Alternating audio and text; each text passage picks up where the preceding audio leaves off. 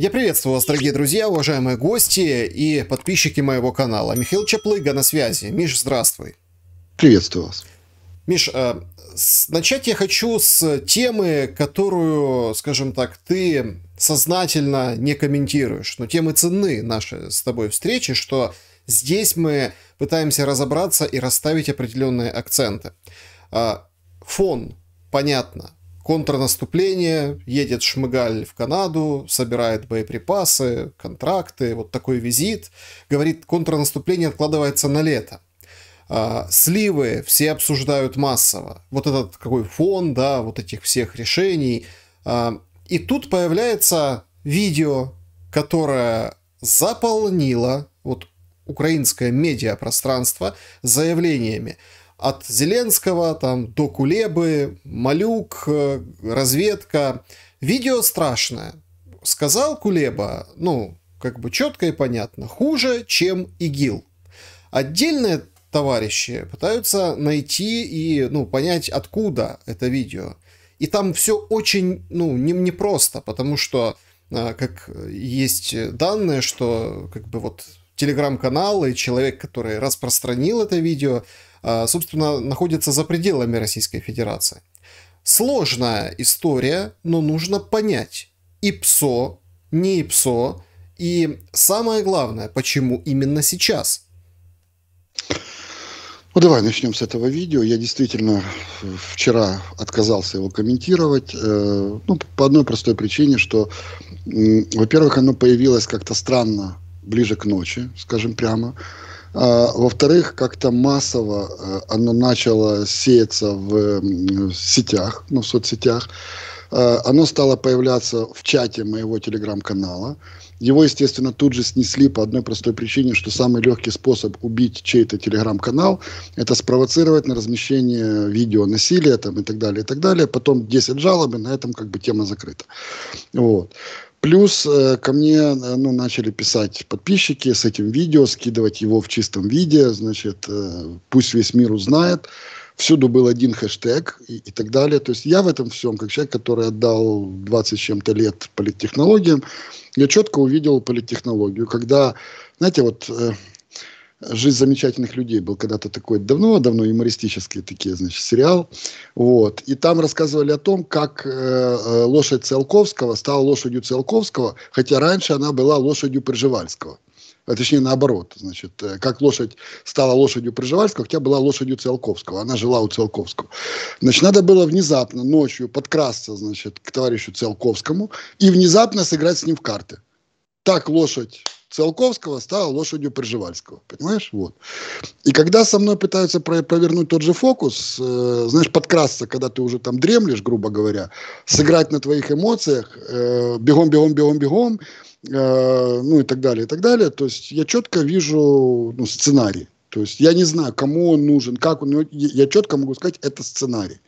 Вот. Причем скоординированный сценарий, когда тебе пишут в личку, когда все начинается со слов «Слава Украина», когда Украине, значит, там, когда все очень патриотично, когда люди, э, ну реально, ну то есть я тебе честно скажу, у меня рука дрогнула, я тоже хотел бы его вывесить и сказать, у вас там все с головой в порядке в России. То есть, ну как бы, вот. Но как бы там ни было, я тебе скажу, что срабатывают профессиональные рефлексы, и ты на, на, на каком-то этапе просто тормозишься, и знаешь, как вот все должно отстояться для того, чтобы понять вообще, что это такое.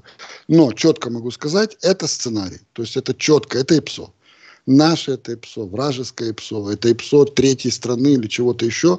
Одному Богу известно, но я точно могу сказать, это ИПСО. А любое ИПСО я стараюсь обходить стороной, кроме украинского, особенно если это нам в пользу. Но я не уверен в том, что это украинское, а раз, знаешь, как это, не уверен, не обгоняй. Понимаешь? Вот. Поэтому я решил не комментировать. Э, является ли это видео достоверным, сказать тоже не могу, но э, судя по всему, да. Судя по всему, да. Э, когда оно было сделано, не знаю. Судя по всему, было сделано где-то год назад.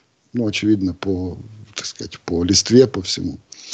Кто это могли быть и как, там, ну, это пусть военные разбираются по форме, по, ну, имеется в виду по пиксельная форма, не пиксельная, что там как было. Мне э, друзья пишут, что это кто-то из э, наших кракенов.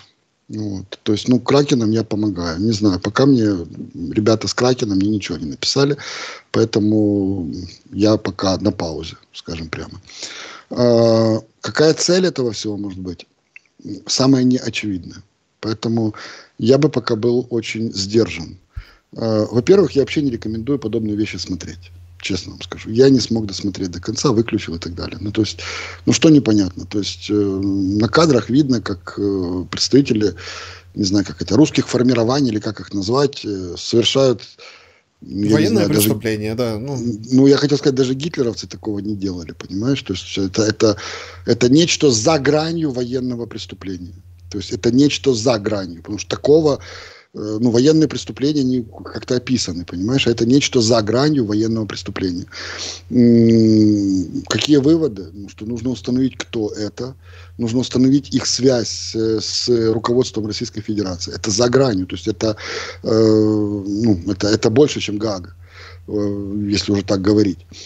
И, э, ну, соответственно, да, наверное, надо такие вопросы поднимать, в том числе и на ООН и так далее, потому что, ну, знаешь, эмоция это, э, ну, может быть, правильно, не знаю, но толку с этой эмоцией. Всякая эмоция должна результатироваться во что? В какое-то слушание, в какие-то документы, в какие-то расследования, в какие-то материалы и так далее, и так далее. То есть, а все это надо делать с холодной головой. Понимаешь? То есть вот чего я ожидал бы, как реакцию на подобное. А эмоция, она, она может вызвать только что? Распространение, более ничего. Плюс она может вызвать, э, ну не знаю, какую-то агрессию там и так далее. Но э, я как бы не знаю, где там лазят э, мои товарищи чатовцы, но пишут мне в чате, что даже среди э, таких зашка зашкаленных или зашкваренных ура-патриотов в России, там вот это Z там и так далее, Z кого-то. Даже они сказали, что это за гранью. Ну, то есть, что как бы, как бы это, это, это, это нечто, нечто, чего быть не должно было в принципе. А, не знаю, э, зачем это все делается именно сейчас. И честно тебе скажу, я призвал бы и других пока не делать поспешных выводов. Потому что, э, ну честно, от Кракена мне ребята ничего не написали. Ну, я бы получил какое-то письмо, да. Является ли это нашим ИПСО, пока не вижу. Что я подозреваю, чьим это может быть ИПСО? Значит, я подозреваю, что то, что я, в принципе, раньше описывал в ситуации с Пригожиным. А, помнишь вот этот взрыв э, в этой кафешке, э, где убили ну, какого-то там военкора их, да, и тут же начали это дело цеплять на Украину, ну, как обычно, да, то, кто взорвал Северный поток, кто всрався, невистка, значит, и тут же тыкают пальцем на нас и говорят, что это, мол, Украина, понимаешь, каким боком мы к тем Северным потокам и как мы могли это сделать, знаешь, никому не интересно, но тыкают пальцем в нас. Только, блин, случилось это с Пригожиным, то с этим, э, господи, как его, э, к военкорам этим их. Значит, тут же начали тыкать пальцами на нас, что это мы. Я предложил свою версию, что, скорее всего, это внутренние разборки России, где есть медиа, медиа, подчеркиваю, империя, целого Пригожина. То есть он не столько там вояка, которого из себя изображает, сколько обычный менеджер бандитской организации, ну, которая воюет там за рудники там по всему миру, еще, ну, за ценности какие-то, да, имеется в виду материальные, подземные. Вот. Воюет руками непонятно кого, ну, может и профессиональных, может и бандитов, там непонятно, со всего мира набирает. Воюет за счет российской армии, и, собственно говоря, он является составляющей частью российской армии. Попытки показать, что он вне, это неправильно. Он и есть часть э, э официальной российской армии. Вот. Если его организация террористическая, то, соответственно, и армия российская террористическая, а Россия является государственным спонсором терроризма. Вот, вот логика просто этого всего. И доказать это весьма просто. У них очень напряженные отношения с, внутри себя. То есть это пауки в банке. То есть никакой тайны не составит, если вы зайдете в Google и посмотрите, какими словами и как э, называл э, Пригожин э, Шойгу, который там руководит э, вооруженными силами. Ну, министр обороны, извините. Причем его родственников, переходя грани там, и ну, многое другое. Это внутренняя их война, внутренняя. Кто мог быть задействован? Нужно понимать, что помимо вот этих русских, ну, русских башен, вот этого Кремля очень много, да. Есть там башни, не знаю, какого-то ФСБ, есть там башня какого-то Суркова, есть там либеральная башня, еще какая-то. Ну, это много этих башен. Но, к сожалению, многие наши люди почему-то думают, что вот эти трения башен Кремля, это хорошо. Мы, мол, на какую-то кремлевскую э, башню ставку сделаем, И мы, это, это очень грамотно, мы победили, вот давайте эту башню Кремля поддерживать, она воюет с другими, и если она побеждает, то это будет новая Россия, нам будет хорошо. А я говорю, ребята, мозги включайте. Башни Кремля объединены общей кремлевской стеной, поймите вы это. Сколько бы они там не это самое, хороших башен Кремля не существует априорно. И это игра в доброго и злого полицейского. Но мы каким-то магическим образом, по просьбе, наверное, наших западных партнеров, приютили у себя ошметки вот этой либеральной башни, в которую э, американские партнеры со времен Ельцина вложили очень много денег. Очевидно, им было жалко ее потерять. И эта башня Кремля прописалась в наших киевских ресторанах, откуда делает, планирует наступление целой армии какой-то, целая армия, видимо, поваров киевских ресторанов, и захватывает э, на американские эти деньги, которые поступают им, на жизнь, значит, они захватывают Владивосток. Прямо из мытищ, понимаешь? Прямо из мытищ они захватили Владивосток. Я подозреваю, что руками этой прописавшейся у нас башни пытаются играть там, понимаешь? Поэтому поэтому, ну, а ты же понимаешь, что если они беглые из России, причем кто-то там бывшие депутаты, кто-то там еще и так далее, то есть они, естественно, находятся в каком-то соприкосновении с нашими спецслужбами. Ну, логично, правда? То есть человек уезжает из России, был когда-то во власти, критикует Россию, э, захватывает из Метищ Владивосток, э, пользуется поддержкой западных партнеров и так далее. Коню, понятно, этот человек или эти люди будут в соприкосновении со спецслужбами Украины. Теперь, когда начинаются разборки внутри между Пригожиным и Шойгу, Используются, очевидно, вот эти ошметки той либеральной башни, которую мы почему-то считаем дружеской для Украины, почему-то, хотя знаем, что башни объединены одной, одной стеной. И, естественно, потом всплывает, что, ну, а вы знаете вообще это украинские спецслужбы? Потому что они по роду занятий априорно обязаны быть в контакте с подобными людьми. Ну, имеется в виду хотя бы контролировать их деятельность. Ну, это с точки зрения безопасности государства. И выстраивается цепочка, что оказывается, эта Украина там была вмешана. Каким хрен боком там Украина?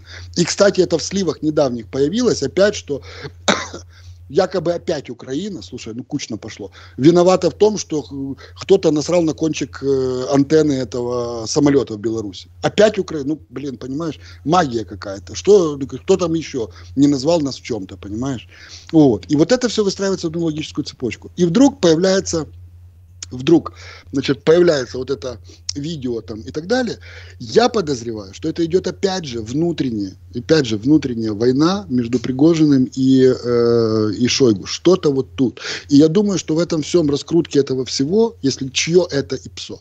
Так вот я подозреваю, что это ИПСО не столько наше, сколько больше вот этой башни, третьей, которая у нас прописалась. Поэтому создается впечатление, что это может быть где-то наше ЭПСО, э, которое раскручивается в руками в том числе и наших патриотичных сил. Ну, честно тебе скажу. Я когда это увидел, у меня первая реакция распространить и призвать всех посмотреть. Ну, первая реакция. То есть даже если я не участник этого ИПСО или что-то еще, то я автоматически в него вовлекаюсь на эмоциональном уровне, понимаешь?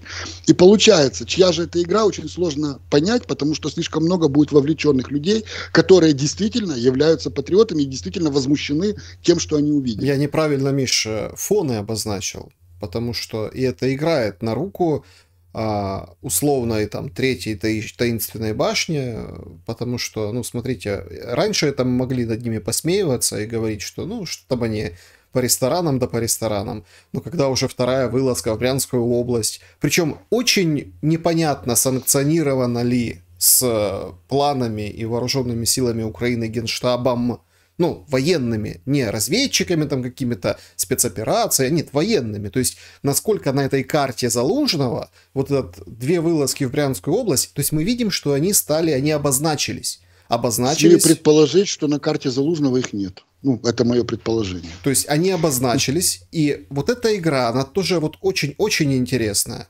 а, да. ввиду этого. Вот, я поэтому говорил, бойтесь донайцев, дары приносящих. Не бывает хороших башен Кремля, точка. Я это говорю, помнишь, когда еще засилие в эфире появилось, открываете, блин, наши паблики, э, видео, и ты увидишь засилие всей русской либерастии там, всей, понимаешь, во всей красе. Вместо того, чтобы украинские там какие-то эксперты действительно давали какую-то взвешенную, интересную позицию.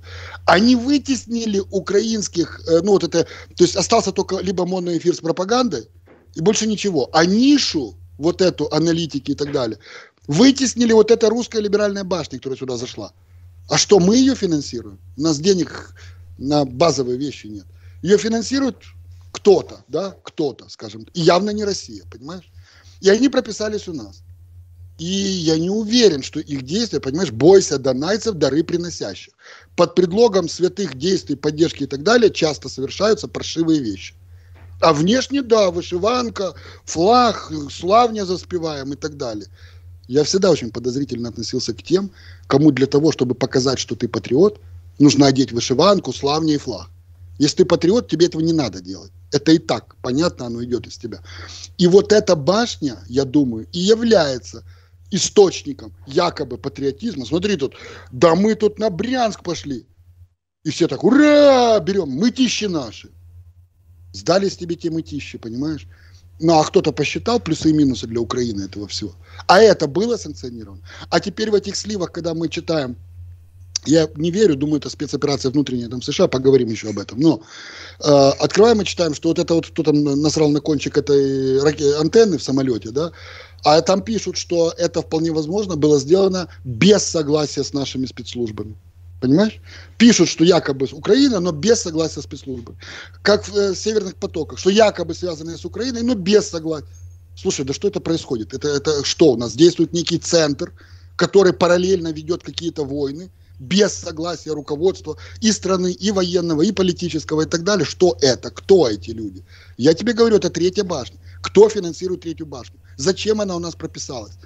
кто, кто играет в это а замещение, в чьих интересах они играют. Если, вот я тебе скажу, я утверждаю, что те сливы, которые были в США, это не про Украину и не про Израиль. Это и не про всех, которые там упомянулись. Нет. Это про внутреннюю войну спецслужб США, потому что при выборы и потому что во время выборов спецслужбы кто-то работает на демов, кто-то на респов. Это их внутренняя война. Мы получились по касательной. Точно так же и здесь. Украина получается по потому что несколько башен Кремля воюют между собой публично, иногда совершая это с нашей территории при поддержке неких партнеров, понимаешь? Ну откуда-то же они бабки берут, причем явно в долларе, понимаешь? Ну или в фунтах. Ну, в Поэтому, крипте, да, берут, в крипте. Ну или в крипте, я небольшой в этом специалист.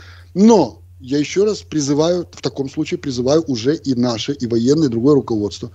Ну давайте, давайте подумаем, а бывают ли хорошие башни Кремля? Может быть, я прав все-таки был, когда и в твоих эфирах тоже обращал на это внимание. Помнишь, мы говорили про эти все их выступления и так далее.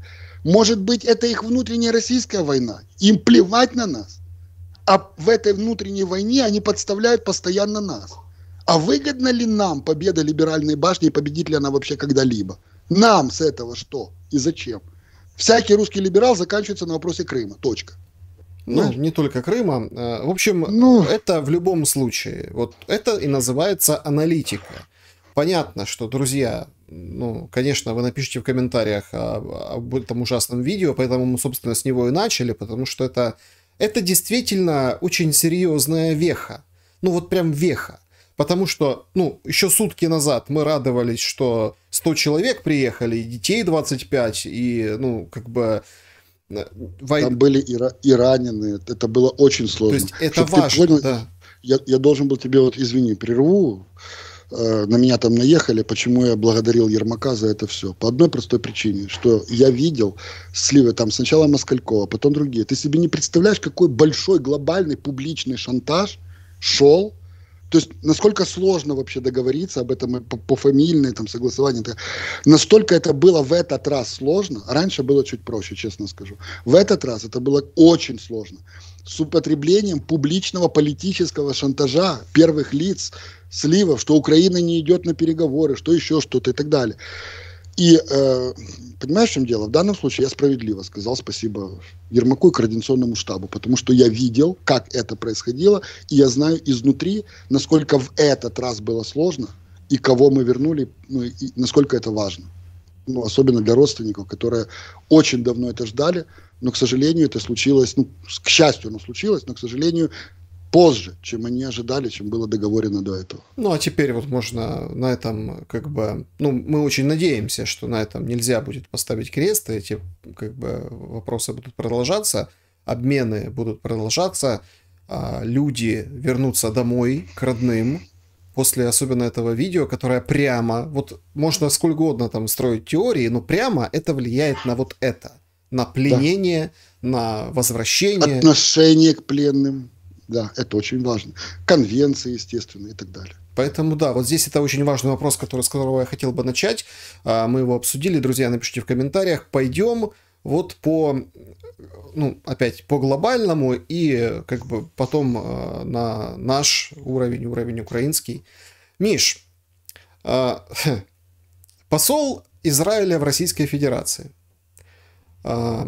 сделал заявление, по-настоящему, которая демонстрирует, откуда он посол, и как бы вот с намеком на взвешенную некую позицию. В общем, а, обе стороны должны что-то потерять. Тогда война остановится. Мудро. Звучит мудро. А на практике как? Скажи, пожалуйста, а не напоминает ли тебе эта фраза, фразу Си во время ужина с Макроном, когда Си сказал, что Россия и Украина должны встретиться на полпути. Полдороги. Полдороги, да. Это же то же самое. Конечно, я поерничал, ну не я, это у меня в чате, у меня, знаешь, многие шутки, они берутся из нашего чата, к счастью, слава богу, умные люди там, ну, чат, телеграм-канал. А, народ говорит, так, слушайте, по пути это возле Урала, в принципе, мы не против, да, то есть можно. Вот. Но э, если серьезно и без иронии, э, то ты видишь, что идет эта подготовка, идет подготовка, что да, обе стороны должны что-то потерять. Но вопрос, выгодно ли это нам, понимаешь? А, конечно же, мы прекрасно все понимаем, что э, постулат, что такое переговоры по определению это не ультиматумы. То есть, когда я выхожу и говорю э, Шелли, значит, э, забирайся, значит, вон отсюда, вот, и еще и денег мне дай за то, что в гости приходил без спроса, да, вот, а ты мне говоришь, слушай, да если я уже к тебе пришел, то, собственно говоря, это ты можешь выйти отсюда, значит, и это все и так уже мое, да. Это два ультиматума. Понятно, что мы не будем говорить. А слово переговоры если речь идет о переговорах, тогда мы говорим о том, что мы фиксируем текущее положение дел для старта, прекращаем битву тапками, ну или там рогатками, вениками и так далее, да, и переходим к дипломатии. А исходя из видения картины будущего, а не прошлого, вот что очень важно – не каждый еще раз поймет, я повторюсь еще раз, исходя из видения картины будущего, но не прошлого, запомните, тогда начинается разговор о дипломатии и о том, что, кто и как. Если у тебя нет решения, вот у тебя шахматное поле 3 на 3, и решения в нем нет, и тебе говорят, что переговоры невозможны, потому что все клетки заняты, все, решений нет, ты не можешь двинуть фигуру для того, чтобы ты двигал, знаешь, пятнашки детская игра, хотя бы одна клетка должна быть пустая. Тогда ты сможешь двигать фигуры и выстроить то, что тебе нужно, да, то есть ты, твою картину будущего. Ну, грубо говоря, 1, 2, 3, 4, 5 там и так далее. Если так, то, мол, если нет свободного поля, нет предмета к разговору. Все, это, ну, это цукцванг. То есть ничего делается. Любой ход э, приведет к потерям, а может быть вообще хода сделать нельзя. Точка. Тогда нужно расширить это поле. Пусть оно будет не 3 на 3, а 10 на 10. А что означает поле 10 на 10? Тогда нужно говорить о глобальных вещах. О балансе ПРО и СНВ. ПРО противоракетной обороны и стратегических наступательных вооружений. Это больше, чем Украина. Но Украина вовлечена, потому что ПРО США глобальное, оно выдвинулось уже к восточной границе, с Германией к восточной границе Польши, да? И продвинулось на территорию Украины ближе к границам России. Патриот. Понимаешь? ПРО уже выдвинулось таким, знаешь, вот путем. В ответ что делают русские? Русские продвигают свою ПРО где? В Киргизии. Они делают объединенную систему. Они выдвинули ПРО в Киргизии. Э, американские, грубо говоря, разместили свое ядерное оружие в Западной Европе и в Турции. Выходит Макрон, Э, у, на встрече с Си, что говорит? Что все страны должны забрать свое ядерное оружие к себе домой. ярко, да? А перед этим что предшествовало? Россия пытается выдвинуть, еще нет, но пытается выдвинуть свое ЯО и тактическое, и, я думаю, стратегическое, потому что они делают МБР. Выдвинуть куда? Беларусь. Что буквально вчера или на днях произошло? Россия испытала публично межконтинентальную баллистическую ракету. Это первый шаг к чему? К ядерным испытаниям. Потому что выход или приостановка ДСНВ договора, помнишь, который закончился после падения первого беспилотника на Энгельсе, который являлся вот этим стратегическим аэродромом и нарушил этот баланс. Дальше началась гонка вооружений, гонка ядерных вооружений, потому что для того, чтобы наращивать это все, тебе необходимо заменять каждые 15-20 лет, и тебе нужно проводить испытания. А ядерных испытаний-то уже очень давно не было, правда? Тогда речь идет о более глобальном. Мы говорим сейчас о геостратегическом балансе. Если мы говорим о новой архитектуре, переговоры по Украине невозможны в отрыве от переговоров о глобальном. Понимаешь? Невозможно физически. И Израиль это понимает. И это понимает и Китай. Это, видимо, понимает и Макрон.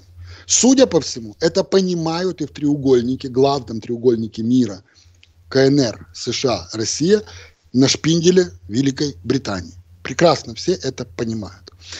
Но каждая из сторон, это глобальная игра, это другой вообще, друг, другая матрица, да, и наша маленькая война 3 на 3, ну, по сравнению с глобальной войной, да. Но нет решения здесь без решения глобального баланса. Почему? Потому что вопрос в Украине самый ключевой какой сейчас политический и военный. Крым. Крым. Почему Крым? Потому что Крым это по большому счету Кощеево, грубо говоря, яйцо, да, для политического режима э, в Москве. Потому что если мы каким-то образом, неважно, мы не военные, раскрывать планы не будем, но каким-то реалистичным способом, рассекая сухопутный коридор, выходим на рубежи Крыма и переходим к какому-то политическому давлению, дипломатическому или военному, понимаешь? Это рождает очень серьезные вопросы внутри самой России. А нахиба это было? И далее начинается противостояние всегда внутри элит. То есть мы можем запустить политические процессы внутри самой России с помощью Крыма. Почему Крым Кощеево яйцо? Очень просто. Потому что есть три стратегические точки со времен Советского Союза для бывшего СССР, когда это еще было. А Россия, ну, это часть. То есть Россия, конечно, это РСФСР и пояс безопасности. Вот что такое СССР был. Так я как-то записывал целое видео на эту тему, не буду повторяться, но там есть три, три стратегические точки. Это порт в Сирии, это Калининград и это Крым. Контроль акватории. Крым – это геостратегическая точка – для России. Если мы берем эту точку хотя бы по бокам руками, хотя бы так, это рождает сумасшедшие внутренние политические процессы. Вот почему геополитически, военно и так далее, дипломатически важно, и почему так много говорят о контрнаступлении, о возможности рассечения этого сухопутного коридора и так далее. Вот почему. Дело же не в самом Крыме, как таковом, просто в квадратных метрах, да, Дело в значительно более глобальных вещах. Может ли Украина стать первой начать такие переговоры? Такого масштаба нет. Для нас нет. То есть это могут начать в треугольнике большом, понимаешь? И то, о чем говорит Израиль, и то, о чем говорит Китай, и то, о чем начал говорить Макрон, они говорят о том, что да, давайте говорить о новой геостратегической реальности будущего – и тогда мы сможем говорить о том, что установление мира в Украине, справедливого мира в Украине, будет стабильным, потому что нужно отличать остановку огня просто. Знаешь, как вот это э, вой, первый этап войны на Востоке, да, ну договор Минские, ну что они сделали? Они просто остановили э, самую активную фазу войны, правда? При этом вынесли Крым за скобки, вот в чем, что важно. То есть, по сути, это был акт капитуляции с какой-то оттяжкой по времени. Да? Но хотят ли повторения это? Думаю, нет. Но для того, чтобы повторения не было, необходим масштаб. Это то, о чем говорил Зеленский и Ермак. Они говорили, и наш, и Кулеба тогда, и многие другие говорили о чем? Что невозможно, то есть для того, чтобы установить мир здесь и провести переговоры и профиксировать это все – То есть о чем-то договариваться, да, каких-то периодах времени, то есть тайваньский вариант, э, не знаю, э, не тайваньский, а этот, господи, э, что там перед этим, какой остров вернул, Гонконг, да, гонконгский вариант, там, или какие-то, или там вариант, не знаю, какой-то просто придумать, или финский вариант, или какой-либо другой. То есть, когда Крым считается демилитаризированной зоной, через какой-то период времени передается обратно под юрисдикцию Украины, при этом выплачиваются определенные деньги России за то, что вот это произошло. Может, кто-то скажет, это фантастика, русские на это не пойдут. Еще раз говорю, фантастики в этом мире больше нет. То есть, а все, а, а, а все можно говорить. Вопрос, с каких условий позиции, понимаешь? Вот, то есть, все это, это уже элементы большой геостратегии. И говорить о переговорах Россия-Украина, это ни о чем. Нет решения в этой 3 на 3 матрице матрица значительно более большая. Будет ЕО Беларуси? Не будет. Будет в Украине про США? Не будет. Э, что там будет по Киргизии, то есть э, что будет по э, подводному флоту в Тихоокеанском регионе, понимаешь, потому что там же Китай и так далее, Россия там начала активничать, что вызвало возмущение Японии, а тут же начались учения Филиппин и США, то есть это ж, там же тоже они есть, Тихоокеанский регион. И многое-многое другое. Без обсуждения этого невозможно найти решение в Украине. А может... единственное, единственное, о чем мы можем договориться, об остановке огня на текущих условиях. Все. А может, Миш, э, здесь есть ошибка в этих, э, скажем так, подходах и в этой аналитике. Главная ошибка – это ну, слишком преувеличенное значение Крыма. Раз. А второй момент, вот понимание вот этой, ну как бы, вот этого полдороги. Все ждут контрнаступления. Данилов говорит, уже идет. Будем верить Данилову. А, там Шмыгаль говорит летом. Летом, чуть попозже. Это я тоже упоминал.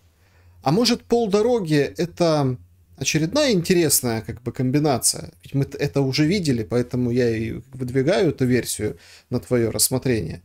Что, ну, например, сообщения, они как бы есть, сложно верифицировать, но есть, что серьезные там ударные кулаки – у вооруженных сил Украины в Харьковской области. Это движение захвата, скажем так, ну, вот этих товарищей, то ли в котел, то ли еще каким-то образом, которые сидят э, в районе там Северска, Кременной, там Лисичанска, вот в том направлении, э, в какой-то котел, торги по, скажем так, по людям, э, пропахали, забрали назад Луганскую область, север ее, и тут тебе убиваются сразу несколько как бы зайцев. Наступление есть? Есть. Результаты есть? Есть. Победа? Победа! К Луганску подошли, вернулись там условно на какие-то рубежи. Может там к самому Луганску подошли. У Донецка мы уже вот. Победа? Победа. Погнали? Погнали. А русские что? А смотрите, зато у нас вот есть сухопутный коридор, а тут вот есть Крым, а это вообще был жест доброй воли, мы договорились, и конспирологи включились, и давай как бы крутить эту шарманку, что смотрите. И вроде бы все как бы сыты геополитики и говорят, ну вот, наступление прошло успешно, давайте садиться за стол переговоров. А, скажу так, я не знаком с такой аналитикой, но в твоем изложении она звучит здраво и вполне реалистично. Это один из сценариев. Смотри, аналитика – это не предсказание в стиле Ванги, да, там, да будет так в такой-то день и так далее. Нет. Аналитика – это набор сценариев, да, и вероятности реализации сценария. Ну вот ты прекрасно изложил, я тебе потом в ответ, Алаверды, я тебе расскажу еще один сценарий, который может быть по Крыму, например, да. Сценарий, предложенный тобой, почему мне кажется реалистичным? Потому что я четко понимаю, что то, что было с 2014 года на Востоке, то есть изначально Россия изначально воспринимала ну, Луганскую, Донецкую область, Восток, изначально воспринимала как дистанцию, понимаешь? Плюс, второй момент, они воспринимали это, как, знаешь, как укус игуаны, да, когда ты укусила, а потом ходит с такими любовными глазами за тобой ждет, знаешь, когда вот, вот. Это был такой ядовитый укус игуаны, да, чтобы эта рана вот гнила, кровоточила и так далее, да, и разрывала нас изнутри. Потому что, понимаешь, получается, ну что мне с, донечанами делить. Мы с ними футбол играли, пиво вместе пили, понимаешь? Я западенец, они рожали надо мной, типа, а, Бендера приехал, значит, к нам в гости тут. Вот, я над ними, значит, там, ну, значит, что там, товарищи Кацапы, как там живете, да? Вот. И мы, ну, нам-то делить нечего. Мы, и там, мы видели, может быть, по-разному. Они больше видели э, с Россией там какие-то экономические интеграционные. Политически мы спорили. Я больше там на Европу. Но при этом ну, ну, мы, это нормальная была дискуссия граждан о том, куда и как двигаться в стране. И вдруг, и вдруг мы попали в парадигму, когда они вынуждены превратить все то, что говорили обо мне, в агрессию. Все то же самое, но теперь с элементом агрессии. И я, получается, хочу того или не хочу, в ответ тоже с агрессией. И получилось, что мы внутри грызем друг друга, понимаешь? Но ты еще накладывай сюда, что свое богатство и привилеги... привилегированность, а Донецк это был крутейший город – с таким, да. с таким баблом, что и не снилось никому, они превратили в нищету. О чем их предупреждали, между прочим? О чем их и предупреждали. Знаешь, э, ну посмотри даже на то, кто, кто был никем, тот стал всем, да, то есть, ну, кого они расставили вообще там и как. Но к чему это все веду? Веду к тому, что это был вот этот укус игуаны, ядовитый, который отравлял нам кровь. А что же, для чего и как? А Крым-то вывели за скобки. Чики-пики, ложки у громыки. Вывели за скобки. Его же не было в этих минских, э, ну, э, в минских, э, как оно, соглашениях. Понимаешь, чем дело? Что такое Минские соглашения? Уже миллион раз говорил. Значит, миллион, миллион первый скажу. Минские – это, по сути, акт капитуляции, подписанный Порошенко. Почему подписал? Хорошо это было или плохо? Пусть оценивают другие, не я. По факту. Моя оценка – это акт капитуляции. Точка. Далее, его надо было исполнять, поскольку это единственное, что было на столе, да. Иначе что? Иначе война. Если удается петлять, петляйте. Но если четко выйти и не спутать, это же игра нервов, да? Кто первый бросит карты на стол, понимаешь? Первыми карты на стол бросила Россия, у них нервы не выдержали. И все. Ну, то есть, ну, дальше понеслось то, что понеслось. Но ты же понимаешь, что в этой игре всегда виноват тот, кто первый бросает карты. Вот. Это мое видение этого всего. Зачем это было? для того, чтобы торгом по вот этой части укушенной вывести вообще вопрос Крыма, да не только Крыма, и Севастополя. Ну почему о нем забывают? Вопрос Крыма и Севастополя за скобки. Ключ-то там, понимаешь? И когда ты говоришь о том, что... Ну, ты говоришь, да, ты говоришь. О том, что мы можем забрать север Луганской области, там еще где-то оттеснить, взять котел какой-то, это, это будет наступление, перемога и так далее. Я говорю, что это реалистично и возможно. Потому что в той схеме, которую видел я еще с ну, года так 16-го, я четко понимал, что для них это только повод и предлог. То есть это, ну, это ложная цель. То есть это то, где они бросают в бой вот этих пригожинцев и так далее, а мы жертвуем лучшими, понимаешь? Это то, где они оттягивают наши силы и кровь то, где они отравляют вот этими заточенными, понимаешь, я не люблю заточенных ни с одной, ни с другой стороны, вот этих спорах заточенных, понимаешь, и один и второй понимают, что не правы, но, ну, понимаешь, долбят друг друга. Истина где-то посередине. Но это все, это все ложная цель. И на самом деле Россия ничего не потеряет от того, если они выжженную, отравленную землю, а ведь там ничего не осталось. Это выжженная и на десятки лет вперед отравленная земля. Это как они сделали с Херсоном, понимаешь? Они, по сути, ну, все уничтожили, да, вот инфраструктурно и так далее. А потом нам отдали на зиму, типа, а теперь это ваше. А да, мы, еще, мы еще побомбим, да. А, а да, мы еще, вы там только сконцентрируйтесь, а мы еще вас побомбим. Вот. Понимаешь, вот та же картина может быть и там. И логика в твоих, в твоих словах абсолютно есть. Я хочу просто и еще, этого... один, еще один аргумент и, ну, как бы другой сценарий, да, э, ну, и потому что мы так вот сконцентрировались опять, ну, как по-украински, да, сконцентрировались на нас. Есть еще глобальные вопросы. Миш, смотри, логика в этом очень простая, исходя из того, что пройдя вот эти километры Луганской области, может даже весь Донбасс. Ну, это как суперприз, да, ну, как какая-то высшая точка, весь Донбасс, а, просто, ну, здраво освобождать там Луганск и Донецк нужно, ну, там, годы. Я имею в виду не физически заходить, выгонять там, а вот освобождать, налаживать жизнь. Мы втянемся туда так, что мы про Крым уже даже не вспомнит, э, ну, я утрирую, но тем не менее, даже не вспомнит никто, что там есть еще Крым как цель.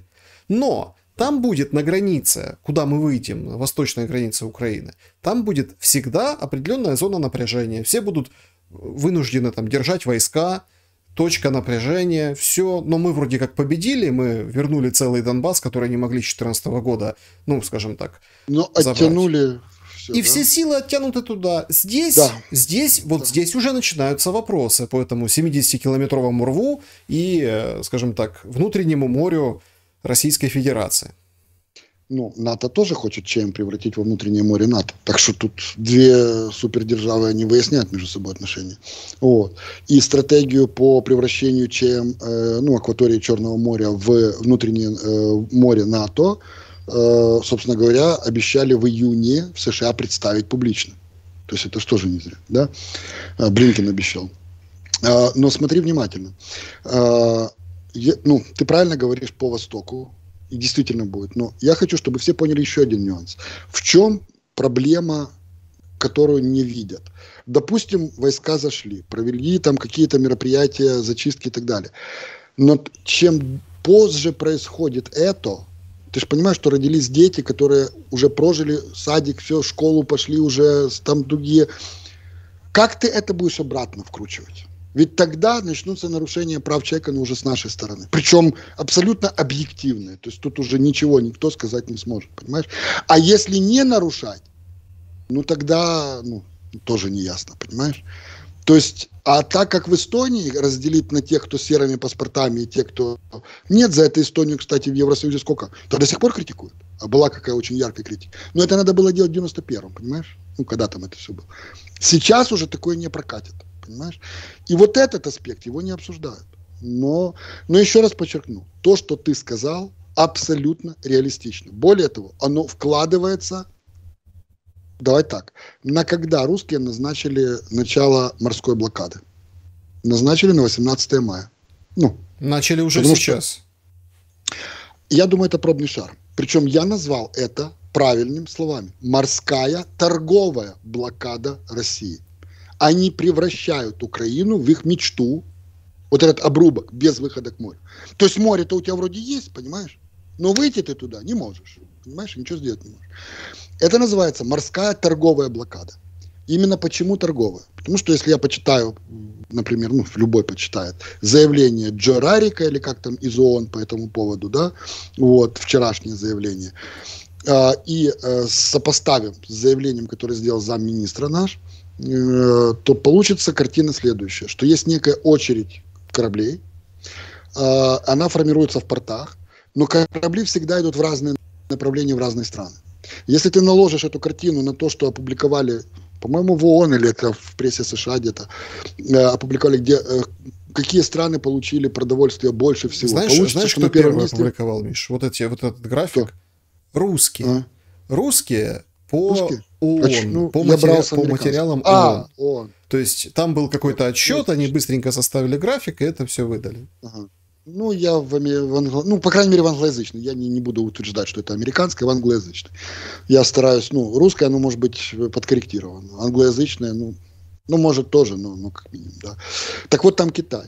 И дальше ЕС и так далее. Если ты наложишь это на протесты поляков и то, что происходит в Польше сейчас – то ты поймешь, что да, получается, значительная часть продовольствия, зерна и так далее, шло в Европу и Китай. Понимаешь? Получается, это не совсем помощь голодающим Африке. А ведь гум... это же назвали гуманитарный коридор, правильно? То есть помощь голодающим, ну, я образно назвал Африке, но там и Ближнего Востока, там и Азии и так далее, да, то есть вот помощь голодающим. И получается, это не помощь, а это тупо бизнес, понимаешь? То есть это разное. То есть это торговля. И тут очень зря наш замминистра разговорился, скажем прямо, понимаешь? Вот очень зря. Он взял в конце и добавил, что в результате, если такое будет продолжаться, то на 15% вырастут мировые цены. Ты же понимаешь, что э, гуманитарная помощь голодающим в Африке никак не влияет на рост мировых цен на продовольствие. Далее он сказал, что это будет вынуждать наших фермеров складировать зерно, то есть подвергать его опасности, да, и они будут нищать из-за того, что они не смогут его продать. Получается, сам же замминистра, по сути, сказал, что идет торговля, а русские что сделали? Сделали блокаду торговую. Сказали, мы пропустим те, которые идут голодающую а, Африку, а те, которые идут на торговлю, мы не пустим.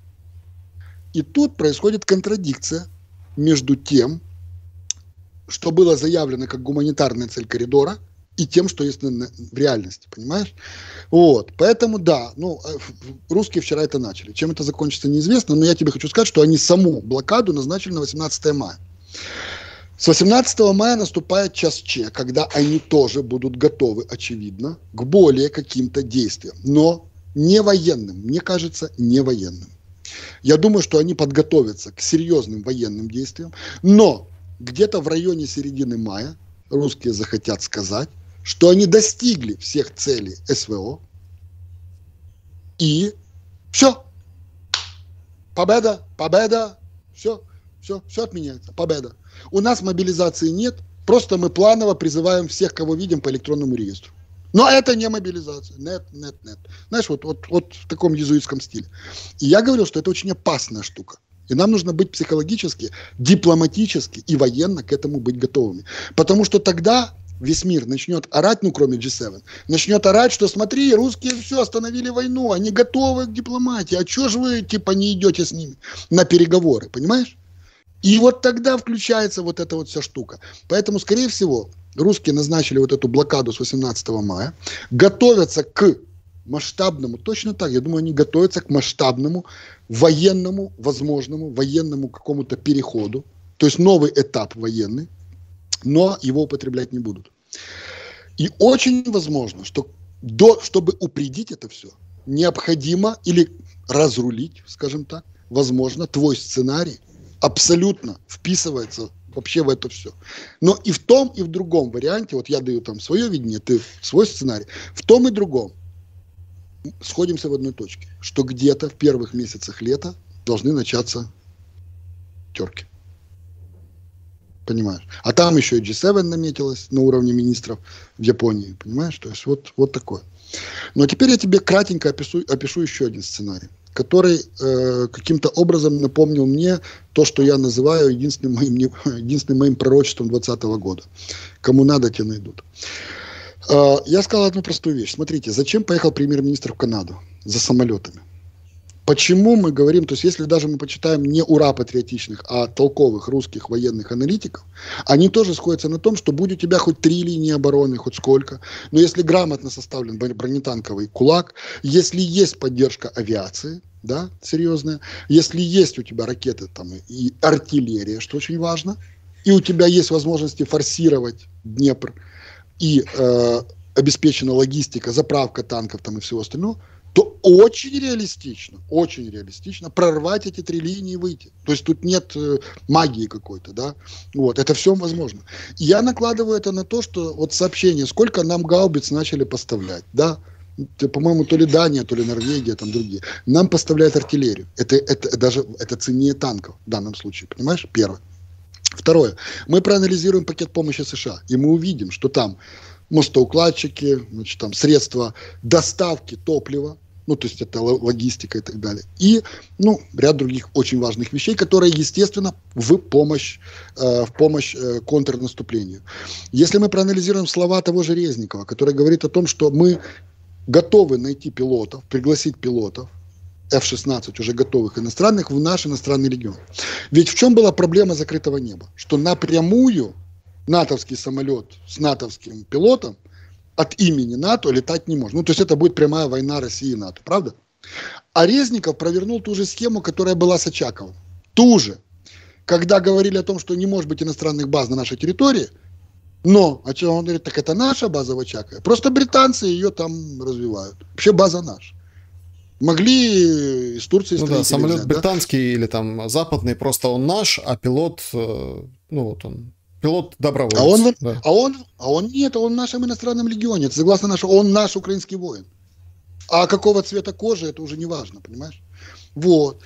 Теперь возникает вопрос. Обслуживание самолетов. Откуда они могут взлетать? То есть а, анализируют такую вещь, что взлетать самолеты теоретически обслуживаться могут где? На восточной границе Польши. Ну, то есть в Польше, но близко к восточной И границе. туда да? что? Сразу летит ракета. Правильным. Мне говорят, ну, аналитики вот э, в ответ, на, ну, русские, кстати, аналитики, в ответ говорят, а мы не уверены, то, что полетит ТО. Ну, скорее всего, вот в любых сценариях, они говорят, вот ТО, э, ну, маловероятно очень. Но ракета полететь может. Ты прав. Обычное, обычное вооружение полететь может. Делает ли это Польшу автоматически участником военных действий? Делает. Но не Польша ли готовится к этому? Но при этом аналитики отмечают, что вовлечение Польши ограниченное есть такой термин, ограниченное вовлечение в войну Польши, не будет расценено как вовлечение всего НАТО, понимаешь? И это будет просто присоединение Польши на стороне Украины к освободительной войне против России. Понял? При этом, да, получается для России, если вдруг это будет с территории Польши, это будет восприниматься как ну, законные цели и так далее, и так далее. Но в таком случае польский контингент вполне может заходить. Все, что есть у поляков в военном плане, может заходить. Понимаешь? И отсюда многие вот эти пропагандисты русские. Помни, помнишь такую теорию о том, что якобы Зеленский летал в Польшу договариваться, что отдаст часть украинских земель взамен на помощь по Крыму? Вот. Они просто интерпретировали в пропагандистском ключе вот эту аналитику. Что да, теоретически, самолеты F-16 с пилотами иностранными, которые на самом деле будут украинскими, ну, то есть по, по бумагам, по всему. Самолеты будут украинскими, это не НАТО, это украинское. Просто обслуживание или взлеты могут обеспечиваться, и логистика обеспечиваться с приграничной там, территории Польши. Но в таком случае речь может идти только об ограниченном военном участии отдельно взятой Польши, но никак не всего НАТО. Ну, ты понимаешь? Же, ну, ты же тоже понимаешь, как этот конструкт ломать легко, ударами по территории Польши с Беларуси. Поэтому ж там и происходит то, что происходит. То есть теперь у тебя тоже пазл начнет складываться. Там, но опять же, мы говорим о наборе сценариев и вероятностях. Но мы не говорим, какой из них сработает, потому что мы, ну, откуда мы знаем, да? А вдруг сработает третий мой сценарий о том, что внезапно из Мытищ начнется наступление на Москву. Понимаешь, есть три сценария. Что ты улыбаешься? Нормально. Вот. А, к чему веду? Веду к тому, что конструкт, где есть авиация для поддержки, вот по Крыму того сценария, что я тебе говорил, он тоже существует. Конструкт, где ты расписываешь, как, ну не ты, а аналитики так понимаю, расписывают, как мы делаем перемогу и э, возвращаем часть э, Луганской области или всю, а может быть и больше, да, тоже имеет право на жизнь. Потому что тоже по датам, но еще раз скажу, итогом и того, и второго, и третьего есть по факту что? По факту есть, ну, если идет сценарий с ограниченным вовлечением Польши, то это, по сути, Третья мировая. То есть, ну, в итоге дальше, да, это Третья мировая. А сценарий, который описал ты, он больше похож на сценарий старта переговорного процесса, где все довольны. То есть, ну, э, кто-то что-то потерял, ну, где-то в ожиданиях и так далее. И да, тогда начинается вот этот вот Стамбул-2, по сути. Да? И это накладывается на то, что финансовый год э, в США э, начинается и заканчивается когда? Да, в сентябре. в сентябре. А бабушка доллар, как мы ее в наших с тобой эфирах прозвали, да. Елен, уже все посчитала. И сказала, да. если середина 24-го, одни деньги, если 25-й год, то другие деньги, чуть дороже. Да. Но она сказала чуть-чуть даже не так. Она сказала, что бабки до сентября предусмотрены. То есть они есть. А дальше, дальше там нюансы, понимаешь? Но мы ленд-лиз еще не использовали. Ленд-лиз это за деньги, а он есть. И даже если нам дадут ноль с сентября, то ленд-лиз пойдет любым, ну, то есть он уже и так, и так подписан, понимаешь? То есть это наш ну, козырный погоди, он же, он же, он же можем... просрочится. Нет, он открыт. Его не, не, он открыт. Байден президент будет и после сентября. Понимаешь, он открыт. Просто большинства у него нету в э, Конгрессе.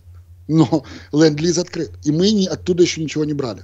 Поэтому это наш козырный туз. Это можно не будет брали, играть. Не Но, дали. Ну хорошо, не дали. Э, пока. Но вопрос в другом будет, что нам, из денег, которые нам обещали на дальше, мы пока что видим только 15 с копейками миллиардов на 4 года. от МВФ. Это ни о чем. Это вообще ни о чем. Понимаешь? Поэтому вопрос возникнет в экономической поддержке. То есть с сентября мы попадаем в то опять в зону турбулентности, понимаешь, непонятно. То есть за счет чего будет существовать вся машина. Даже если у тебя будут все танки и так далее, и так далее. За счет чего государство будет существовать и как, понимаешь? То есть вот какую систему. Да, мы сейчас поговорим о государстве. Давай об американцах поговорим немного. А, Трамп любит, э, говорит Путин Украину, так любит, что бьет. А, странное откровение и странное его там измышление по поводу северных потоков – это вот часть игры, да, выборов в Соединенных Штатах? Или действительно вот э, у Трампа ну, вот такой взгляд на вещи? А, я думаю, что у него действительно такой взгляд на вещи. Понимаешь, в чем дело? А, я могу провести даже параллель, хотя, может быть, она неправильная. А, если ты, например, послушаешь сторонников э, вот этой зетки русской, да, и наших э, таких сильных ура-патриотов, то они, они будут унижать друг они будут называть, а это чмобики какие-то, да, там идут на наши войска, и там это утилизация чмобиков. Э, те будут кричать, да, это какие-то, как они нас там называют, эти э, бендеровцы и так далее, значит, там необученные ведь валят на нас, там просто тучи этих бендеровцев и так далее. А если ты послу, послушаешь военных, то ты, ну, например, Герасимова или Залужного, да, то ты услышишь уважение в их словах противники, которые воюют друг с другом, нанося непоправимый иногда ущерб армиям друг друга. Они с уважением будут говорить друг о друге. Понимаешь? Я не знаю, правильно ли я провел эту параллель, но я думаю, тебе это будет понятно. Да? То есть вот в плане того, что как мыслит Трамп. Он мыслит глобальными вещами, он понимает э, игру, да, то есть он не дает там оценок личностных, крупных, скажем так, внутри себя. Для политики он сделает личностные оценки, скажет, да Шелли самый красивый победитель конкурса красоты, там, да и так далее, и так далее. Но он понимает прекрасно, что в любом случае, назови ты это демократией, диктатурой или так далее, все равно правят элиты, бояре и царь. Ну, то есть, грубо говоря, как бы, вот и все. Значит, и он пытается выстраивать отношения в глобальном. Он не говорит о локальном на локальном уровне это боль, кровь и так далее. Знаешь, была такая картинка, как устроен мир. Наверху э, ухоженные люди сидят на полянке, пьют венцо, красивые модерные города. Ниже рабочие, которые, знаешь, в поте лица добывают, там, трудятся и так далее. А ниже кровь и военные, на штыках которых вот это все стоит. Вот такая вот пирамида, да. Вот. И понятно, что твоя точка зрения будет зависеть от того, как ты, что ты смотришь, да, и, и, и где ты. Если ты рабочий, у тебя будет одна точка зрения. Если ты военный, другая точка зрения. Если ты там сверху, у тебя будет третья. А теперь зрители со стороны. Если ты будешь смотреть, ну, грубо говоря, э, с точки зрения там отдельно взятой Украины, ты будешь видеть кровь, вот эту вот месиво, вот то, о чем мы говорили в начале эфира, да. А если ты будешь смотреть с точки зрения Трампа, ты будешь видеть только верхний глобальный мир. Ты и так знаешь, что он строится на войнах и крови еще до времен Вавилона, еще до Египта, понимаешь? Все благополучие фараона, там, ну, грубо говоря, и большого этого маленького большого мира, всегда строилось на том, что одна армия уничтожала другую. Это всегда так было, понимаешь? Потом это называлось демократией. Вот. И он это знает. И он на это не фокусируется. И получается, что с его, с нашей точки зрения, он несет чушь. Потому что ты приедь, посмотри, увидь. Так Зачем ему не надо, да. Он это и так знает. Это априорно внутри, ну, вообще в основе нашего мира, априорно. Что нового можно увидеть после того, что происходило в Йемене, после руандийской резни там и так далее? Что нового можно увидеть в мире? Да ничего особо, после Первой мировой, Второй мировой. Все все понимают. Поэтому Трамп это тот, кто мыслит треугольник, то есть глобальными вещами, понимаешь? Он видит этот треугольник КНР, Россия, США. Он понимает, точно так же, как и Киссинджер, это же слова, по сути, Киссинджера.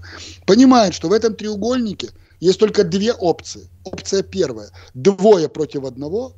И опция вторая – трое договариваются о равностороннем треугольнике. То есть мультилатеральность. То есть, или как это говорят, многополярный мир. То есть триполярный мир, грубо говоря, да, вот, либо двое против одного. Выбирай. Двое против одного – это всегда крах третьего. Ну, то есть треугольнике. Сейчас двое против одного. Это русский и Китай. И он понимает, что единственный, кто в этой войне выиграет, это только британский шпиндель снизу, под столом. Понимаешь? Больше никто.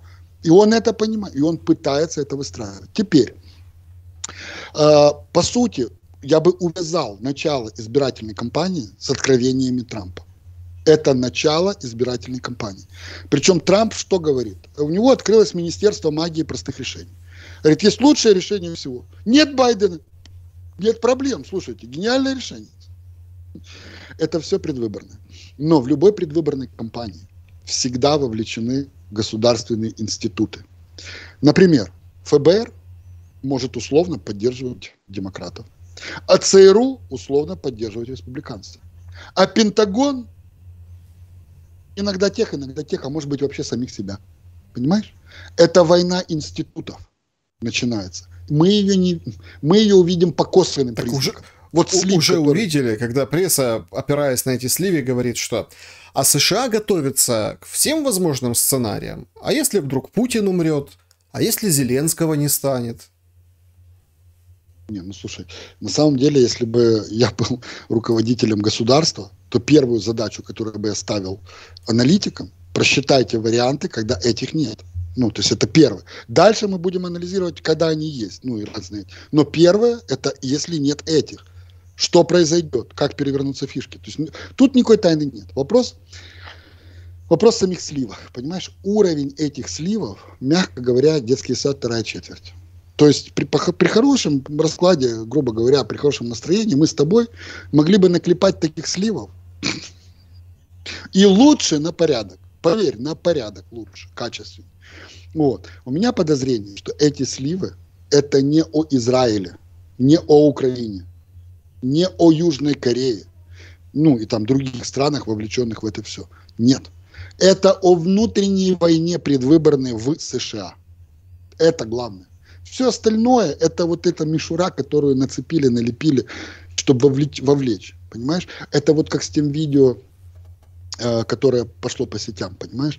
То есть мы не можем, не можем теперь сказать, кто источник и зачем, потому что так много вовлеченных в это все, что их стало очень много. Причем искренне вовлеченных это уже никакая не ИПСО, это уже, уже искренняя вовлеченность. Точно так же и здесь. Они цепляют вот это. А давайте Израиль зацепим а давайте зацепим Украину, еще кого-то. И все вовлекаются в этот увлекательный процесс комментирования, раскрутки и так далее. Все, понеслось, понимаешь?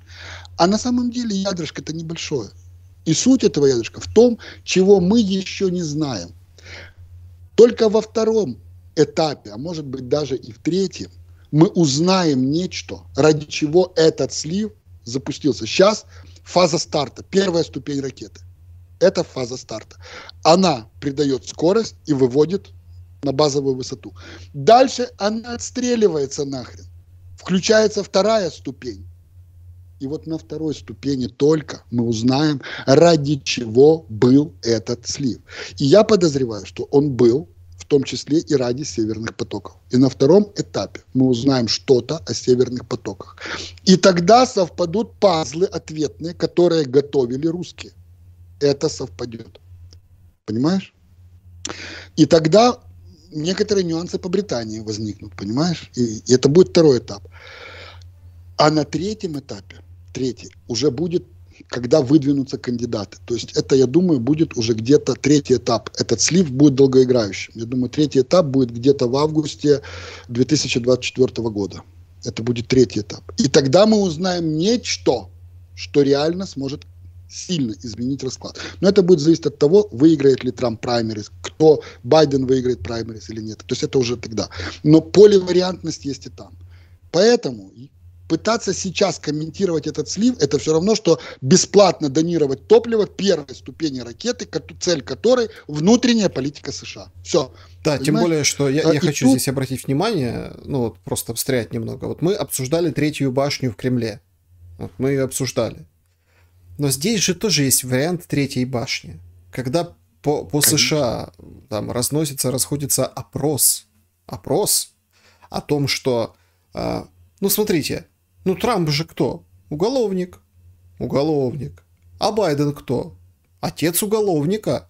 Хантера. Да. И того, и того считают преступниками, связанными с преступным миром. Вот как интересно получается. А кто же выводится и выигрывает на первый, на первый план, кого выводит? Хороший вопрос. Ну, я думаю, не Маска. Нет.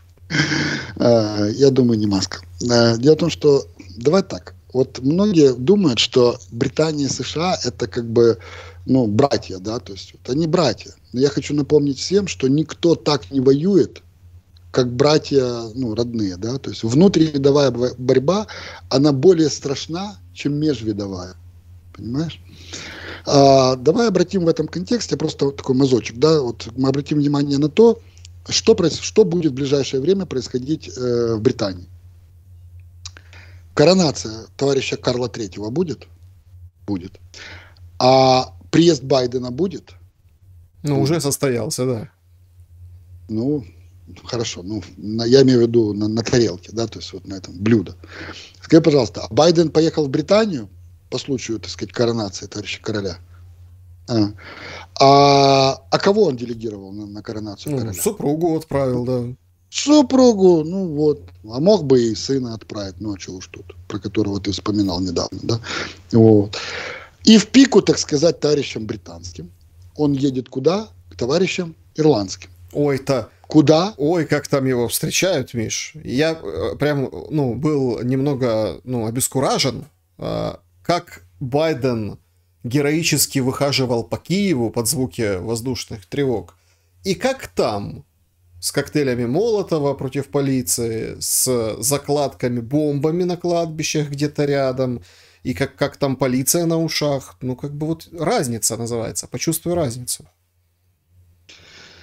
Ну, где-то постановка, где-то реальность, понимаешь? Но ему для старта кампании, как э, кто такой Байден? Ирландец, да? А исторически э, голод в Ирландии, скажи, какая страна устроила в свое время? Понимаешь? А, и куда он поехал? Белфаст, а потом уже по другим, да? То есть э, это по болезненным точкам Британии, по сути, прошелся. А, кстати, ситуация по Ирландии в контексте Брекзита и так далее разруливалась кем? США и Евросоюзом, без Британии. Ну, Британия упиралась во многих вещах, понимаешь? То есть, по сути, это такая болезненный укол США в сторону Британии, ну, правящей администрации в сторону Британии. Это болезненный укол, причем публичный, нехороший. А, с другой стороны, Байдену, чтобы выдвинуться, нужно подобные вещи провести, да. А Трамп начинает играть, то есть понимаешь, Байден начинает играть на вот этом поле Британии, да, а Трамп начинает играть на поле Китая и России. Причем на поле Китая и России начинает играть также Макрон, также испанский премьер. На удивление, испанский премьер после визита КНР вышел и сказал, вы знаете, КНР, ну это надо, это будущее, блин, надо сотрудничать. И тут же все возмутились против. Значит, тут же всплыла некая Лиза, Лиза Трасс, которая собралась лететь в Вашингтон, где публично всем, то есть не в Париж, а в Вашингтон, и публично всем сказать, какой плохой Макрон. И вообще, Европа должна лежать под США. Если они встанут из-под США, это очень плохо. Вот. И вообще, для того, чтобы не вставать, нужно четко ударить по Тайваню. Ну, то есть, как бы вот, понимаешь? Все, вот, значит, процесс закрутился. Э, сейчас многие скажут, да о чем он, вообще начали с другого. Да я все о том же, что это большая конструкция мира, и что на по поле 3 на 3 решений нет. Меня много критиковали за слова про Ялту-2. Но в итоге, если вообще вот наш весь эфир подытожить, придешь к выводу, что без Ялты-2 никак, но если она и начнется, то начнется после выборов в США. Ибо миром правят не США, а выборы в США. И все, что мы наблюдаем, это не о нас или о других. Это о выборах внутри. Просто на том или ином этапе запуска этой ракеты. Мы просто всего еще не видим. Ну, то есть, главное в ракете это та вот полезная нагрузка, которая сверху. А нам показывают сначала первую ступень, вторую, потом какие-то элементы, значит, вывода на орбиту. Вот, вот. И мы должны в это все вовлекаться. А это лишнее. И картина на самом деле не такая радужная, как нам кажется. Какое-то единство Британии и США особого тоже нет. Ну да, или, нач... или то, что а... США начальник у Британии, тоже э, Совершенно нет. Да, я, я люблю шутить, знаешь, когда говорили там, вот там э, Вашингтонский обком, помнишь, говорят, там дает указания. Я всегда шучу, говорю, знаете, почему Вашингтонский, почему Госдеп называют Вашингтонский обком? Потому что ЦК в Лондоне. Все это видно, это вся конкуренция и так далее. И точно так же в США. Я думаю, основная конкуренция идет не между Трампом, как ты правильно заметил, и Байденом. 60 с чем-то плюс, ну, 60 больше даже процентов американцев не хотят ни того, ни другого. Они хотят вернуться в предыдущее состояние, где была нормальная конкуренция демократов и республиканцев, идеологическая. Но что же пошло не так? Появились глобалисты. Вот а-ля Сорос, Блэкроки и так далее. Появились глобалисты. Или собой и одних, и вторых. И теперь, знаешь, как вот это папетами играются. Так в чем эффект Трампа? Вот почему Трамп э, настолько важен в этой игре? Потому что Трамп, он не столько за республиканцев, сколько против вот этого глобализма, заразившего две, две, два стада муравьев, которые начали биться друг с другом. А потом или не биться, как, как скажут, так и будет, понимаешь? Вот. И Байден в данном случае представляет ли он демократов? По большому счету нет. Он представляет всего лишь вот это крыло или как там вот эту вот зараженную глобализмом часть, понимаешь? Трамп же пытается выехать на том, что он не за тех, не за тех, он за ту историческую Америку, которая была до глобалистов, овладевших и теми, и другими. Понимаешь? Но будет ли это Трамп, неизвестно. А если это будет, почему, в чем, в чем играть Десантиса, например, да, э, ну, конкурента Трампа? В том, что он говорит о том же, но он говорит лишь о возвращении к истокам самой республиканской партии. То есть не глобально, ситуация в США республиканцев. Но если ты начнешь говорить глобально о всем США, то в таком случае США становится на грань гражданской войны, по большому счету и очень сильного гражданского раскола. Я бы не сказал. И люди... Нет, Десантис ну, достаточно... Проходит. Если не он... Десант, Трамп, Трамп, А, Трамп, Трамп, да, Трамп, Трамп, да. Трамп, Трамп, Трамп. Десантис, он менее опасен. Десантис просто говорит о нормализации отношений Просто если партии, Десантис возвращении да, начнет говорить, то он за демократа сойдет. Ну, так в Да, глобальном. да, так я же говорю, разницы особой нет. То есть это не несет потрясений. А Трамп несет особо, ну смотри, это знаешь, как вот э, наркомана присадили, ему хорошо под этим кайфом. И приходит кто-то, кто хочет тебе вырвать этот, эту иглу, понимаешь? Но когда ее вырывают, наступает... Есть риск того, что пациент ударится головой об стену, начнет биться и убьет себя, понимаешь? То есть, а есть риск, что нормально будет, да? И на этом фоне, когда тебе говорят 50 на 50, приходит кто-то, кто говорит, я 100%, чуть, может, уменьшу дозу, но 100% все будет хорошо. Выбирайте. То есть жизнь-то не, не вечная, да, то есть если вы хотите прожить еще 5 лет нормально, ну, более-менее спокойно, выберите меня.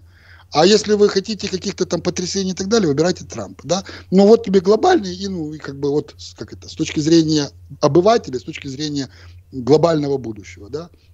Вот. Но в любом случае это будет сумасшедшая борьба в самих США. Ну, я накал ее будет очень, очень серьезный. Я к чему веду? Все вот это глоб... Ты что думаешь, этого не просчитывает Китай? Ведь любая страна всегда супер уязвима именно в периоды предвыборных кампаний. Всегда уязвима, потому что внутренняя борьба и всегда внешняя в это все впиливаются. Точно так же, как было у Си. Ведь никто точно не мог сказать на 101%, что будет избран именно Си на третий срок. Ведь были разные предположения. Ну, точно нет. Хорошо, 90, да, но всегда есть даже 5% риска. И тогда появлялись СМИ, начали тогда разные разгоняться данные э, и по поводу протестов, там, и по поводу экономики Китая и всего остального, то есть, ну, разные. США тоже пользовались слабостью. То есть так же, как будут и США, и Китай тоже будут пользоваться слабостями Путина при выборах. То есть так же, как Путин теперь пользуется слабостью Эрдогана перед выборами, понимаешь? И шантажирует его и туризмом, и мельницами, поставками зерна, и так далее, и так далее. То есть это ж, ну, и э, тем, что он поддержит его или не поддержит, там, загрузки этой м, атомной станции, будет он публичный или не будет. Переговоры в четверке по Сирия, Иран, Турция, Россия. Это очень важно, потому что фактор Сирии сейчас для выборов категорически важен для, для Эрдогана, понимаешь? И фактор экономики и так далее. Все друг друга шантажируют. Я к чему веду? Я к тому веду, что миром сейчас будут править вот эти вот выборы и слабости самих США из-за предвыборного процесса. И я точно тебе скажу, Китай и Россия ставки делают именно на уязвимости США в, этот процесс, в этом процессе. А в этой борьбе ни Трамп, ни демократы не остановятся ни перед чем. И если на втором этапе нужно будет запустить правду по потокам, о чем Трамп намекнул сегодня, раскрывая содержание будущих серий, то это сделают. Независимо от того, что произойдет во всем мире. Да пусть рухнет и утонет весь мир. Главные выборы в США. Просто не все это понимают. Соответственно, и внимание, резкая и непопулярная версия, что демократы очень четко, ясно, вполне возможно, что даже отчасти публично пойдут на прямые соглашения с Москвой по интересующим вопросам. Причем всю да. страну Украина тоже интересующим. То есть это выборы. Господи, а не, не это ли я говорил полгода назад? Не это ли я говорил полгода назад? Я это назвал условно большой кидок. Понимаешь? А империи, они никогда ни перед кем не извиняются. Они всегда действуют просто в своих интересах. Если интересы меняются, меняется их действие. Все это. А все остальное проблема индейцев никого не волнует. Как понимаешь? Там, вот чем. Кидают дальше или еще дальше. Ну. Да, да. да. Ну, а теперь мой друг, а теперь мой друг. Если воз, возобладает Киссинджер США, то что будет?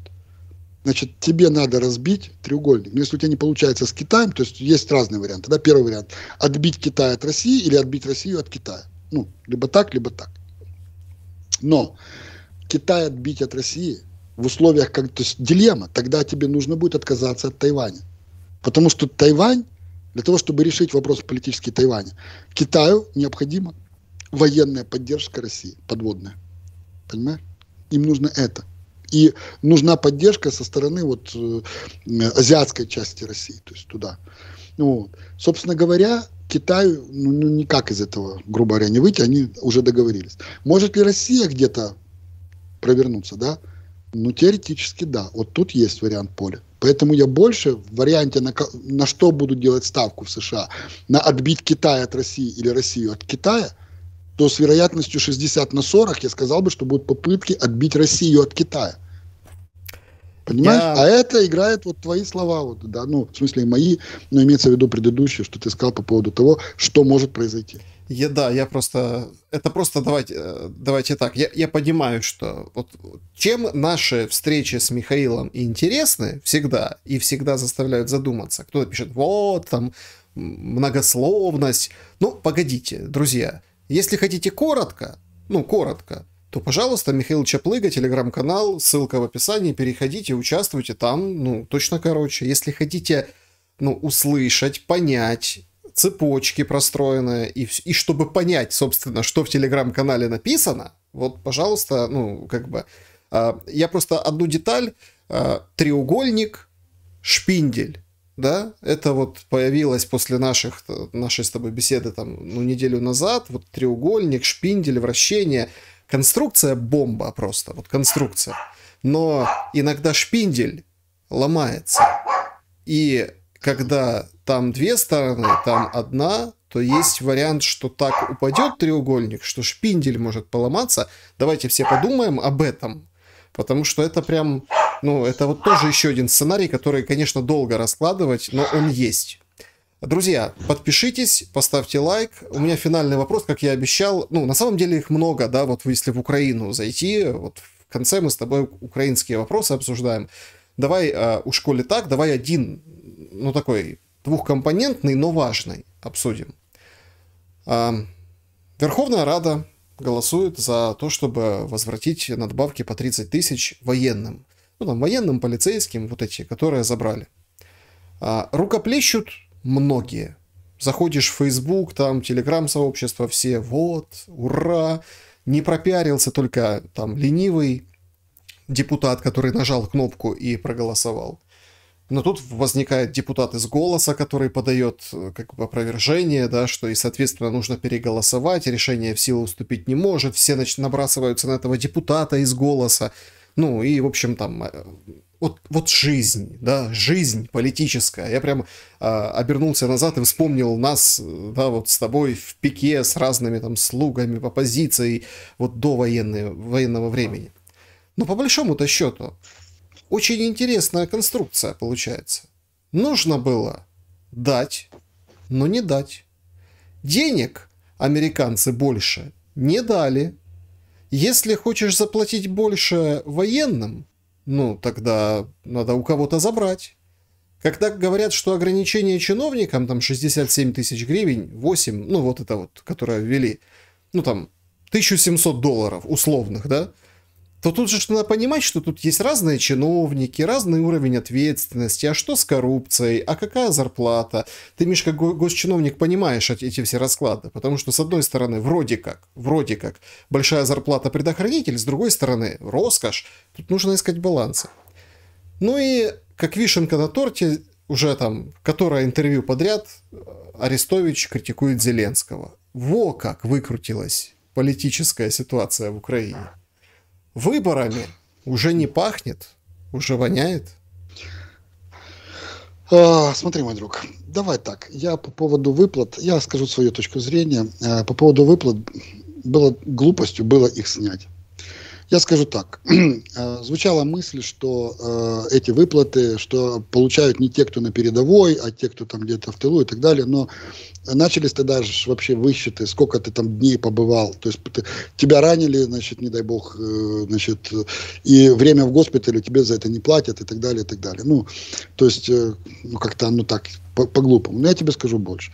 Очень многое ребята покупают за свои деньги. Ну, я-то трошки вовлечен в это все, понимаешь? Очень многое покупают за свои деньги. Причем очень многое за наличку. Ну, давай будем честными, да, то есть вот, потому что так дешевле и так далее, и так далее. И очень многие ребята скидывали собственных заработных плат, надбавок, естественно, этих и так далее. Дособирали деньги. И что? Они гуляли, вот купили на это все. Что они там? Мерседесы себе покупали? Нет. Они покупали расходники, машину, срок жизни которой там неделя, месяц, понимаешь? Они покупали там какие-то рации, да, антенны к рациям. Они покупали теплики там и так далее.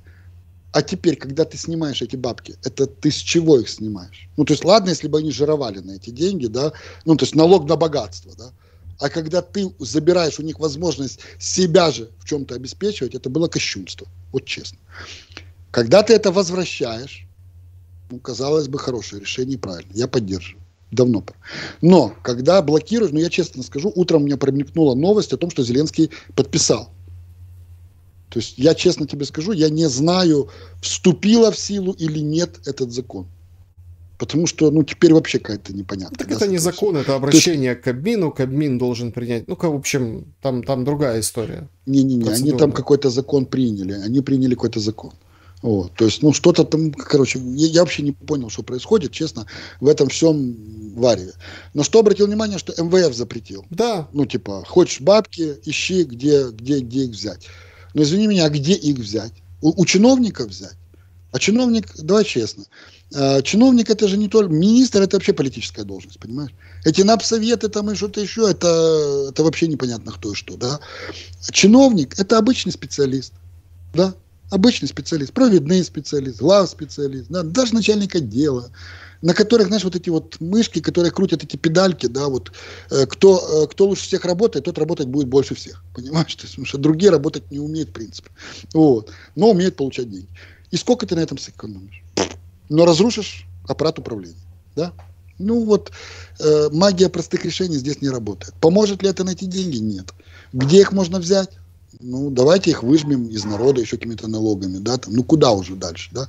Давайте ФОПов подоем еще, бизнес несчастный, я еще не знаю, как он там дышит, тоже нет, понимаешь. Это можно было бы брать из международной помощи. Но, по-моему, Запад поступает езуитски. Я предупреждал, что так и будет. Потому что если есть две капельницы, одна капельница – это финансовая помощь, на которой держится вся экономическая модель, и вторая капельница – это вооружение, поставки, то достаточно тебе играть вот так вот, этими двумя капельницами, да, и ты будешь принуждать двигаться, знаешь, как э, машинка на управлении. Право-лево, право-лево, право-лево, да, ты будешь управлять. Вот. Э, и когда-то это должно было случиться. И тут я тебе скажу, что, очевидно, такими заявлениями МВФ... МВФ это... Что такое МВФ? Это, это не государство. Понимаешь? Но такими, ну, то есть это прокладка. Надо понимать, кто говорит устами МВФ. Я думаю, говорят США. Понимаешь? И они к чему-то, очевидно, машинку куда-то двигают. Да? И очевидно, они двигают к тому, о чем мы с тобой говорили в первой части этого всего дела. Но это же езуитство, выйти и сказать, да я, блин, да я ж тебе тут все дал. Что тебе там 100 гривен надо было? Я тебе дал 10. Что, плохо? Подякуй мне за 10. Да я тебе 10 гривен дал. Э, когда там Бринкин говорил? Через две недели наступления. Вот две недели, Марио, Марио, пора, Марио. Две недели. Понимаешь? А где самолет? Где самолет? Где были там? В небе. Ну, В небе, да. Но ну, не вот, над Украиной, потому что касатель, над Украиной, да. Да, но не... Ну вот я, я тебе, по-моему, ясно это сделаю. Теперь э, касательно э, выборов. Значит, никуда не делась дилемма, которая была до войны. Дилемма простая. У нас очередные выборы. Выборы в парламент были какими? Внеочередными. А выборы президентские были очередными. Следующие выборы какие должны быть? Очередные. Очередные выборы в парламент когда? Осенью этого года. А очередные выборы президентские когда? Весной следующего года. Но логика политических событий всегда такая, что если ты хочешь сохранить власть, то тебе нужно либо одновременно провести и то, и другое, либо сначала президентские. У нас выборы проходят, это как это, личностный фактор. То есть кто-то должен быть паровозом и тянуть за собой всю эту вагонобратию, понимаешь? Вот, соответственно, если сначала идет вагонобратие с рейтингом 0, то ты теряешь парламент, а потеряв парламент, ты теряешь президентство. Сходу. Это логика же понятна. Единственный способ – это либо совместить, либо сначала президентский, потом парламентский. Как это решать? Никто, помнишь, до войны сколько было разных комбинаций, досрочных выборов, переносов, куча комбинаций рассматривать. Ты что думаешь, куда ты это делось? Никуда. Дилемма исчезла? Нет. Соответственно, либо, значит, у них есть два варианта. Либо осень и то, и другое, а внезапно, внезапно, так лошадь э, Циолковского стала лошадью Пржевальского. С чего мы с тобой начали, да? Либо проводить весной совмещенные. Но тогда, типа, из-за войны, значит, э, военного положения нельзя проводить выборы, значит, и тогда, ну, відтерміновуються выборы в Раду. Две даты. Играй как хочешь. Я думаю, что депутатов будет держать на крючке, и оба варианта реалистичны. То есть, либо осень, либо весна. Сказать, какой из них выстрелит, сложно. Но как бы там ни было, осень или весна, в любом случае за год, максимум это период год, весна, да. То есть, собственно говоря, мы вступили в выборный период. А будут они на половине пути или, или, или через год, это уже не важно. И да, мы вступили в выборный период. И да, начинаются разные там движения, кто там за Зеленского, кто против, а кто вообще против всего этого. Значит, естественно, что будет огромнейшая будет борьба за юго-восточный электорат, за русскоязычный электорат, за православный электорат, за, за, за, за, за как это, за электорат, э, э, за старых умных и за вот этих новых там соросят и так далее. Вот это все будет, будем наблюдать. Я постараюсь уточнить резко, четко и понятно. Миш, а нахрена быть депутатом в, вот в этой... Ты меня спрашиваешь? Вот в этой военной или послевоенной, или вот этой, вот в такой Украине. А, а, в этом? Ну, конечно, нужно, конечно. Потому что тогда от твоего нажатия кнопки будет зависеть, куда пойдет бабло большое внешнее. Это будет новый 91 год, новый 90-е. Понимаешь? Это, это слом, новые 90-е. Тот, кто пришел в кедах в парламент, ну, в будущем придет в кедах, уедет оттуда на золотом лимузине. Понимаешь? Конечно, ради этого будут идти. Да там драка будет за то, чтобы там быть. И уже депутаты усекли одну простую тему. Что да, олигархи приходят, что-то да, но они уже больше с олигархами не говорят о, как это, о долгосрочных каких-то вещах. Они уже все это понимают. Они теперь говорят о ситуативных вещах. Ты мне сейчас, терроры, они уже все, они уже знают про крипту, они уже знают про доли в бизнесе, они знают уже все то теперь будет по-другому. Понимаешь? И, конечно, ради этого будут идти. Да, один депутат ни хрена там не решит. Это будут битвы, ну, группировок. И да, это будут, это будут серьезные группировки. И сейчас мы будем просто история через 30 с чем-то лет прокрутиться по кругу. Вот. Да, Михаил Чаплыга был моим собеседником сегодня. Миш, спасибо за твои мысли и твое время. Друзья, и вам спасибо большое за просмотр этого видео. Ставьте лайки, пожалуйста, подписывайтесь. Увидимся обязательно. До скорого.